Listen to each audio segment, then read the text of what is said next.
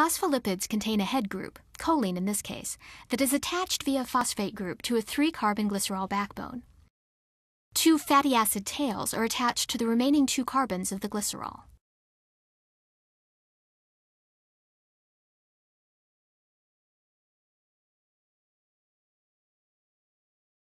The head groups and the phosphate are polar, that is, they prefer to be in an aqueous environment.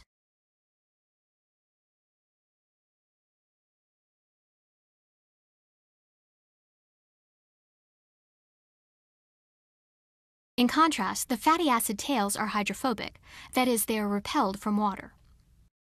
The fatty acid tails on phospholipids can be saturated with no double bonds or unsaturated with one or more double bonds.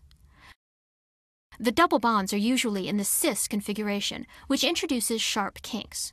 When forming a bilayer, unsaturated fatty acid tails pack loosely, which allows the bilayer to remain fluid.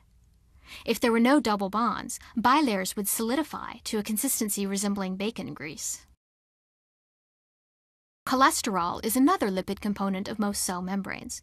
It has a hydroxyl group, a tiny polar head group, so to speak, attached to a rigid hydrophobic tail. Cholesterol can fill gaps between phospholipids and thus stabilizes the bilayer.